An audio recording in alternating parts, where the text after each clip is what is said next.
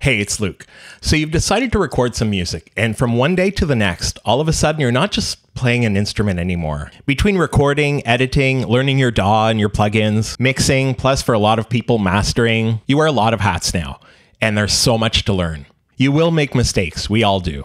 Here are five of the biggest ones and how to fix them.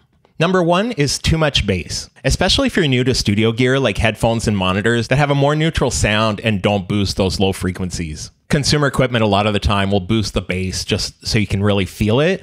But when you're using studio equipment, it tends to flatten out that line, so you feel like something's missing. A late friend of mine tried one of my first tracks in his son's car when he got a new sound system. He wanted to see how it sounded with the subwoofers and everything. and he tells me that track has a lot of bass. You really notice it when you play it on a system that's made to boost those frequencies.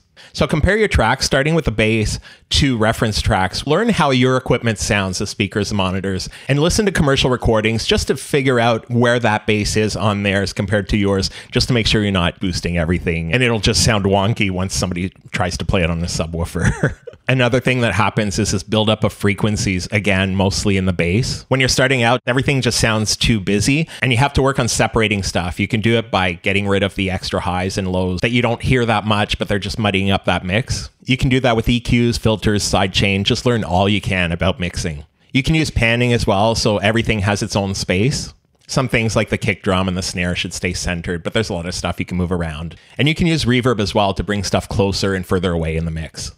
So the number two mistake is trying to hide something. You'll hear it a lot of the time with vocals where they'll be super reverbed and really low in the mix. People, when they start recording themselves, are embarrassed at how their voice sounds or how they play guitar or the drums. Whatever it is, people try to hide stuff, and it's not the solution because then your mix at the end just isn't balanced and it just doesn't sound right. The other extreme is having something too loud because they're super proud of it. Like the drummer will mix the record and the drums are really, really loud in the mix and everything else is really quiet. If you use reference tracks, they can help you set your levels and just have a more balanced mix. Number three is not letting space breathe. You'll have stuff all the time, like really busy melodies. It's tough to scale those back sometimes. Then your bass line will be really, really busy. And then your drums will have all kinds of fills over this busyness. So just use negative space. If you've got the drop coming, take some frequencies out so it hits even harder when it comes back in. Have some tiny silence at the end of a bar. Whatever you can do to just give it a little bit of space and some breathing room.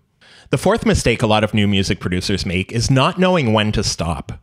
We have unlimited options with the DAWs and the plugins we have, so we tend to keep playing around with buttons and keep adjusting stuff. And at one point, you need to think it's good enough, it's done. What helps me, especially if I'm working on house music, is I try to remember that if I notice little things later, I can just release a remix. Find things like that that you can tell yourself, whatever helps to make you feel better. Just notice when it's time to be done with it, export it, and release it. Which brings me to number five not releasing stuff. Now, whatever your reasons are for this, you're too scared or you doubt yourself, you have to release music. It's completely useless sitting on your hard drive. Okay, I need to start listening to my own advice because I still do this one.